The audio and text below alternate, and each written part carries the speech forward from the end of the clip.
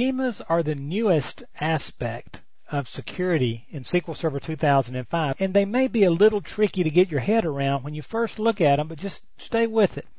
They're actually a great idea, and the best way to understand these things is to see them as a namespace for objects. Now think about this. In the past, in previous versions, if you were here before SQL 2005, let me make this a little easier for you. If you remember, we could refer to any object when we wrote Transact SQL queries. We could we, we could always say, for example, select everything from the authors table, and that was the object. So it would be select everything from authors. But if we wanted to connect to the the authors table on a different server, or in a different database and so forth, we could use four-part naming. So we could say select everything from put the name of the server dot database dot owner dot object. Well, as it turns out, owner right here was actually a namespace for it because all of the objects were basically collected or house kept, if you will, by SQL Server based on who owned them.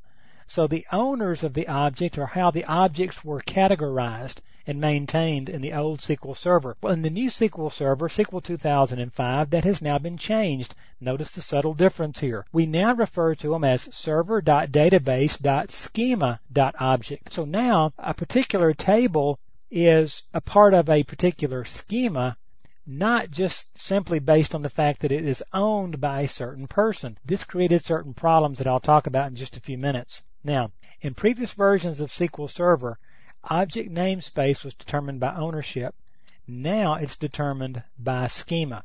Now, what's the big benefit with separating ownership and schema like that? Well, let's talk about them. Number one, objects can be groups regardless of ownership, which means I can have four different tables that are technically owned by four different people. Four different administrators created them, but yet they can all be part of a similar schema and I can apply permissions across that schema to all four of those tables at once. In the past, every time uh, you changed ownerships, permissions had to be satisfied and permissions had to be checked. And we had things called broken ownership chains, if you remember those, and they were an absolute pain to deal with. You don't have those anymore. Also, I mentioned it just a second ago, permissions can now be granted at a schema level.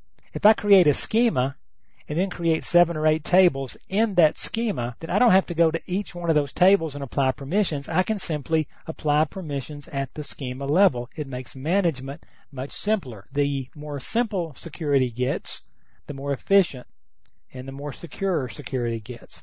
Now, the third reason, dropping users does not require renaming of all owned objects. Let's say Frank owns 27 tables.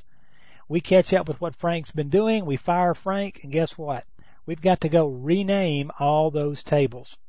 Okay, because Frank's the owner of them and Frank's no longer going to be a valid user in our database. So this takes care of that. Separating ownership from these objects greatly enhances our ability to manage them and secure them.